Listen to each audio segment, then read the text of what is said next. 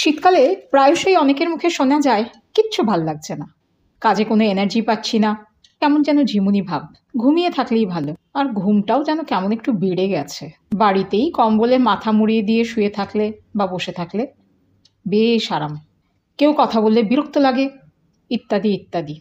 সমাজের সমস্ত প্রবীণ মানুষদের সশ্রদ্ধ প্রণাম নিয়ে আমি ডাক্তার পুষ্পাঞ্জলি বসু আবার এসে গেছি গপ্প করতে। আজ আমরা কথা বলব ব্লু মুড সম্পর্কে। ব্লু মুড একটু অবাক লাগছে? চিকিৎসা বিজ্ঞানের পরিভাষায় বলতে পারি সিজনাল অ্যাফেক্টিভ ডিসঅর্ডার সাদা বাংলায় যাকে বলা হয়, মৌসুমি অবসাদ।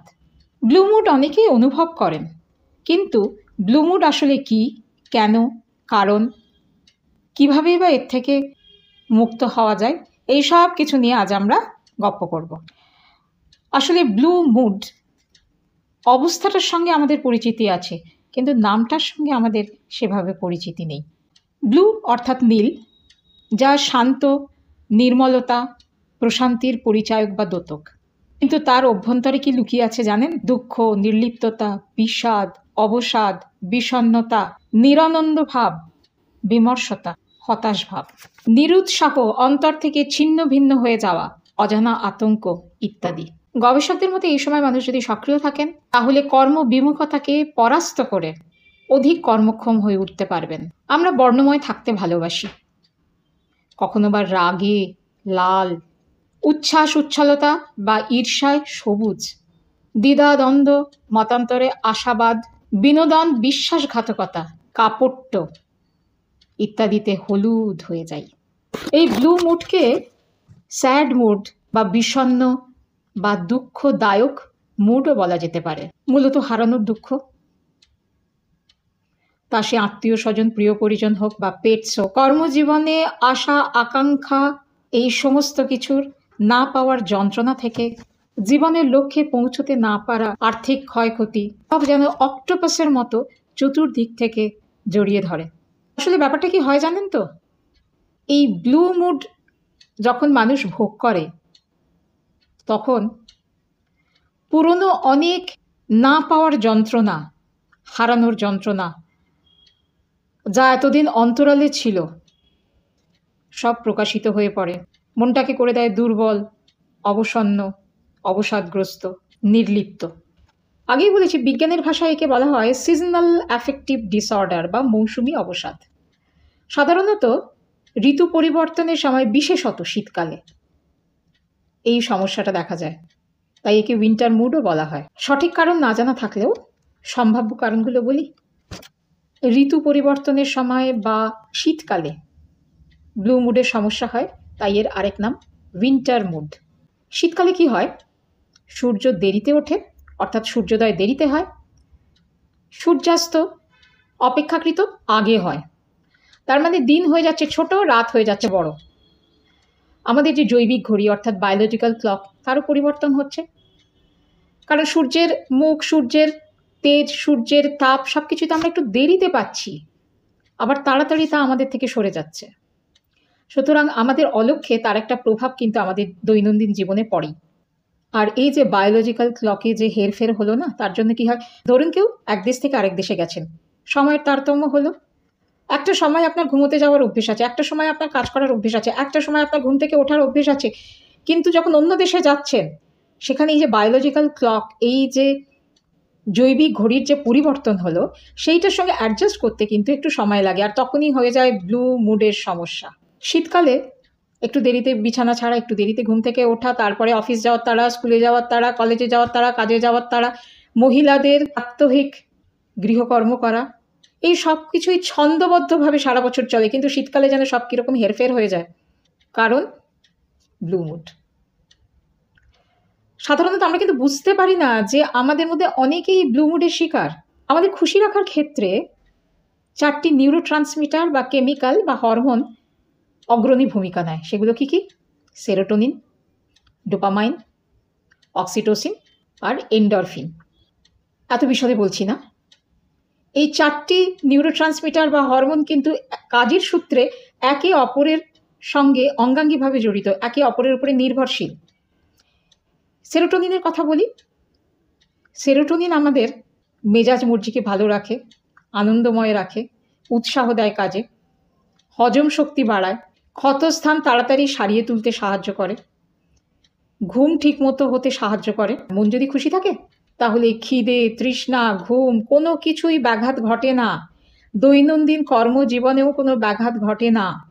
দৈনন্দিন উৎসাহ উদ্দীপনায় কোনো ব্যাঘাত ঘটে না। সব কিছুই যথাযথ হয়। তাহলে বোঝা গেল তো? মনটা যদি ফুর্তিতে থাকে, তাহলে শরীরটাও ভালো থাকে। আশেপাশের পরিবেশ ভালো থাকে। প্রিয় পরিজনেরা ভালো থাকেন।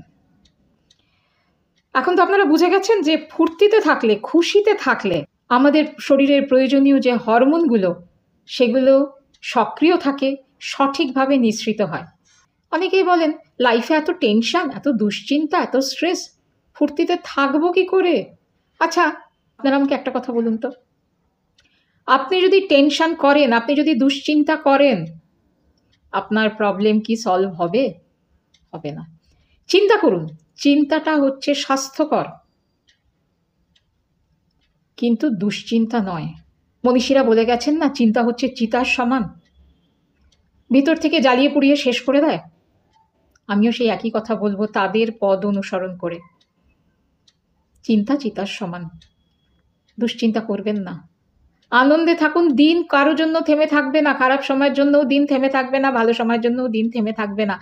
ভিটামিন ডি যদি আমাদের শরীরে কমে যায়, তাহলে অবসাদগ্রস্ত হয়ে পড়েন মানুষ।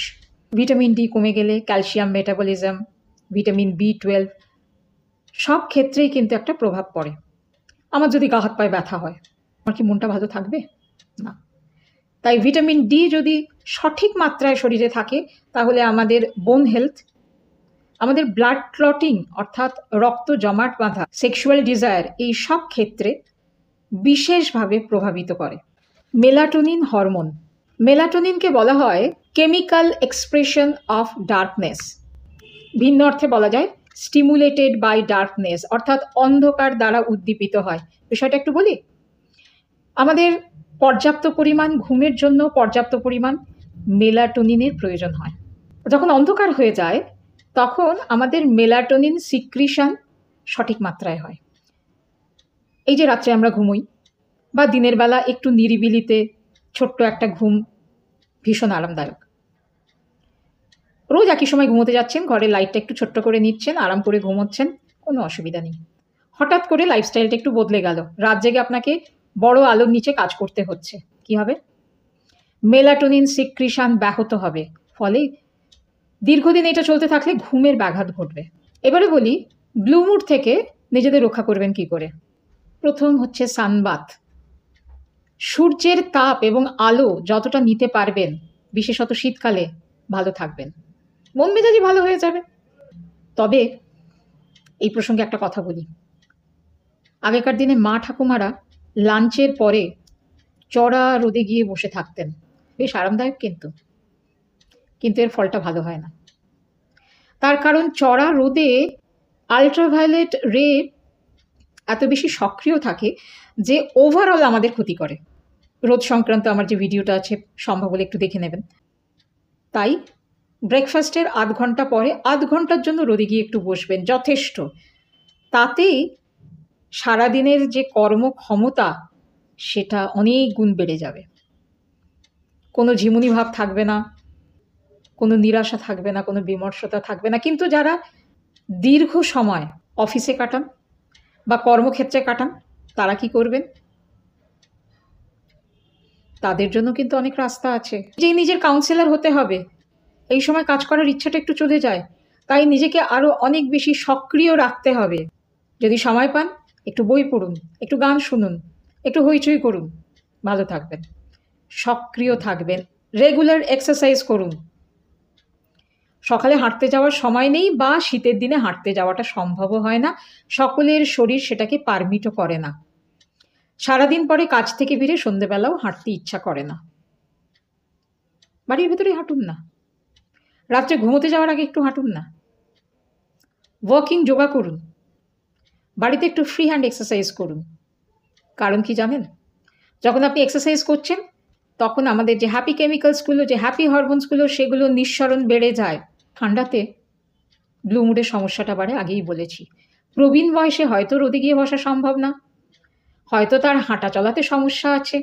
হয়তো তিনি সারাক্ষণই চার দেওয়ালের মধ্যে বন্ধ হয়ে থাকেন।